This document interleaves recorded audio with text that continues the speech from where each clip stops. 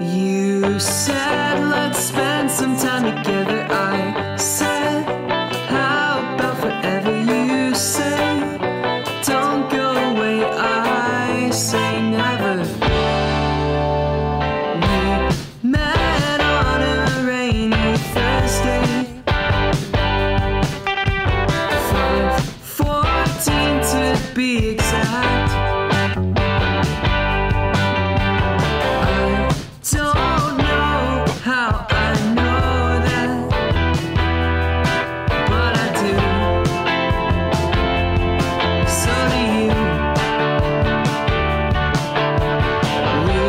Do